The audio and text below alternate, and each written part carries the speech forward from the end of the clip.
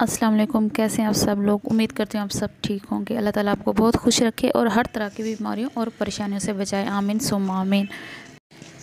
आज का व्लॉग मैं शुरू करने वाली हूँ सुबह के नाश्ते से, जिसमें हमने चावलों की रोटी बनाई थी और साथ मक्खन भी बना लिया था।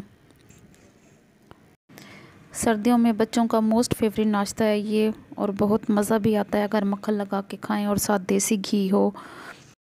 संडे की रूटीन थोड़ी हटके होती है क्योंकि सारा दिन काम ही करना होता है या फिर बच्चे जो फरमाइश कर दें, उनकी फरमाइश को हर हाल में पूरा करना भी होता है। संडे हो या मंडे पेट पूजा तो लाजमी है। बहरहाल कोशिश यही होती है, बच्चे जो फरमाइश करें, उनकी फरमाइश को पूरा किया जाए और उन्हें घर का ही खाना दिया जाए। बच्चों ने कहा हमें मक्खन के साथ चने भी चाहिए तो मैंने कहा, जाओ ले आओ। फिर उन्होंने चने भी साथ मंगवा के खा लिए थे। अच्छा नाश्ता वगैरह से फारिग हो के फिर मैंने अम्मी के साथ जाना था, क्योंकि आपको पता है अम्मी का ऑपरेशन हुआ था लास्ट संडे तो आज अम्मी का फॉलो अप था। हमने डॉक्टर की क्लिनिक कॉल की तो हमें पता चला कि आज मुल्तान से डॉक्टर नहीं आ रहे, क्योंकि ये डॉक्टर मुल्तान से ही आते हैं। लेकिन उन्होंने कहा फॉलो अप के लिए लाजमी आना है, क्योंकि हमने कुछ ड्रॉप्स वगैरह मेडिसन कम करनी है।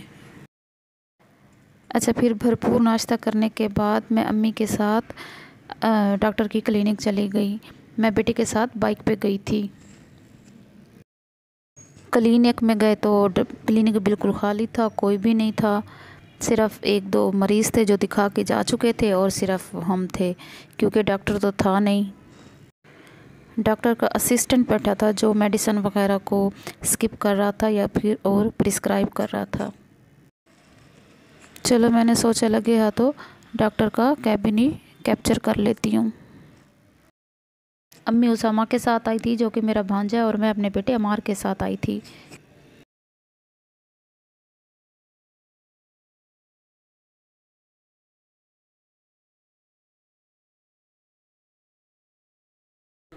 हाँ निकम्मे खड़े कौन है? वीडियो वे चसो अच्छा अच्छा तोरे जिस्सा मोशन जर और मोटे मोटे मोटे मोटे तोरे मुँह ना होसी मोटे मोटे कोई दिखावण चांदे इससे बस ठीक है दे दी भाई बस दे दे माँ हाँ हाँ चलो भाई सामने दे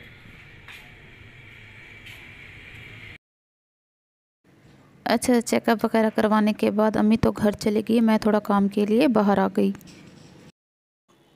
इनफैक्ट मैंने थोड़े से ड्राई फ्रूट्स लेने थे। वो लेने के बाद फिर मैं फ़ौर ही घर आ गई, क्योंकि घर दोपहर का फिर सालन वगैरह भी बनाना था।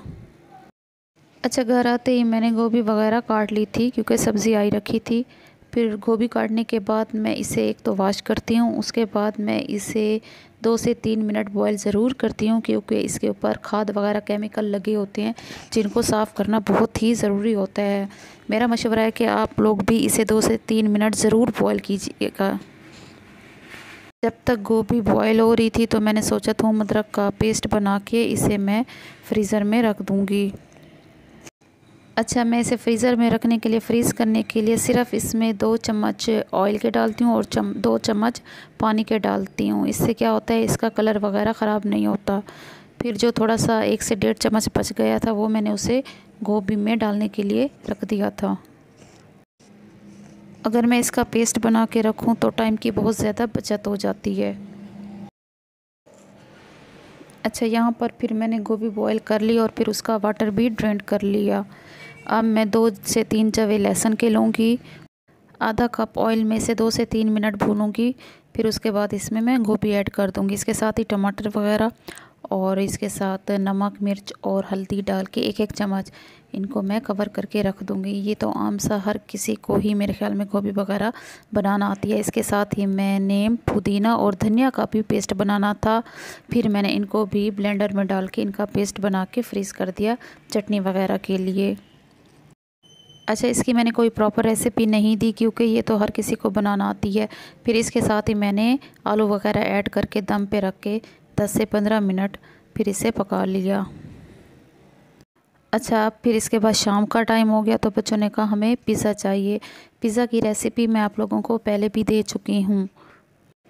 अच्छा यहाँ पे मैंने दो कप वाइट फ्लावर के छान के एक साइड पे रख दिया। फिर इसके बाद मैंने ख़मीर बनाया। इसमें दो से ढाई चम्मच मैंने ख़मीर के लिए मतलब जो इंस्टेंट यीस्ट होती है उसके लिए, फिर इसमें मैंने थोड़ा सा दो से तीन चम्मच पानी के डाले, फिर इसके अंदर मैंने आधा चम्मच नमक का डाला और आधा चम्मच चीनी का डाल के इसको अच्छी तरह से मिक्स कर लिया। फिर मैंने इसको वाइट फ्लावर में ऐड कर दिया और पानी इसके मुताबिक डालती गई और इसे गूंदती गई। इसको ज़्यादा ना ही सख्त करना है और ना ही ज़्यादा नरम करना है। इसके साथ मैंने एक चम्मच ऑयल भी डाला था, इसको मिक्स किया था। फिर इसके बाद जब ये गूंद लिया मैंने तो इसके साथ फिर मैंने इसके ऊपर ऑयल ग्रीस करके मैंने इसको कवर करके रख दिया था। इसके साथ मैंने फिर चिकन वगैरह भी तैयार कर ली थी। चिकन के लिए मैंने कोई मैरिनेशन तैयार नहीं की। बस जल्दी से बनाना था। इस वजह से मैंने इसमें बेसिक से ही मिसाले डाले हैं। नमक, मिसाला, हल्दी, एक चम्मच दही और सिरका ख़त्म था। सिरका नहीं डाला और इसके साथ मैंने सोया सॉस डाला एक चम्मच। अच्छा इसके साथ मैंने एक चम्मच सिरका भी डालना था, लेकिन बोतल उठाई तो वो बिल्कुल ही खाली थी। वो तो स्किप हो गई, वो मैंने नहीं डाली। इसे सिर्फ़ मैंने पाँच से छः मिनट हल्की आँच पे ही भूना है, उसके बाद बिल्कुल ही चिकन टेंडर हो गई। अच्छा इसमें मैंने आधा चम्मच अदरक लहसुन का पेस्ट भी ऐड किया था। बस जैसे ही चिकन तैयार हुई, मैंने एक पतीला लिया और उसे प्री हीट पर लगा दिया। क्योंकि माइक्रोवेव मेरे पास है नहीं तो मैं इसलिए पतीला ही इस्तेमाल करती हूँ और उसमें भी बहुत मज़े का पिज़्ज़ा बन जाता है। अच्छा चिकन को मैंने पकने के बाद, थोड़ा ठंडा होने के बाद, थोड़ा मज़ीद इसे श्रेड कर लिया था छोटे छोटे पीसीज में।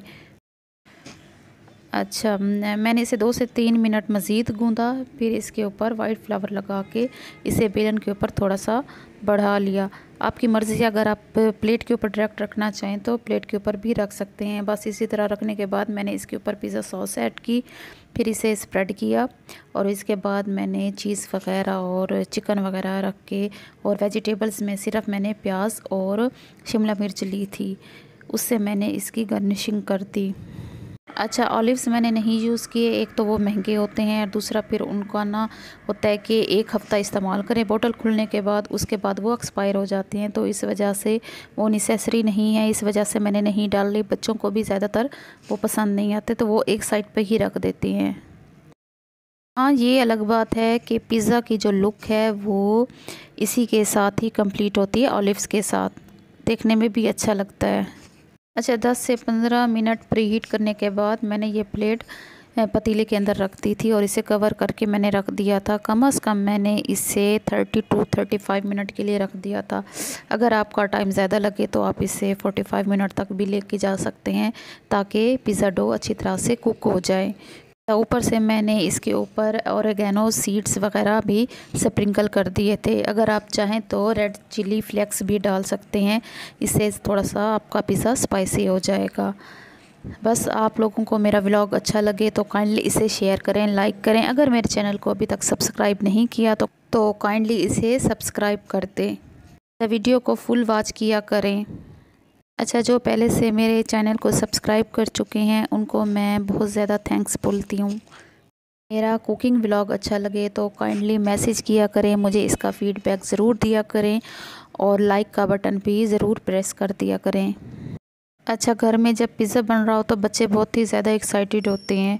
बाज़ार का तो खाते ही खाते हैं, लेकिन जब घर का बन रहा होता है तो उन्हें कुछ ज़्यादा ही मज़ा आ रहा होता है कि घर में आज कुछ ख़ास बन रहा है। आपने कितनी बार पिज़्ज़ा बनाया या अपने बच्चों को क्या खिलाते हैं तो आप मुझे मैसेज करके भी बता सकते हैं। अपना फ़ीडबैक ज़रूर दीजिएगा। वीडियो वॉच करने के लिए बहुत बहुत थैंक्स अल्लाह हाफिज़।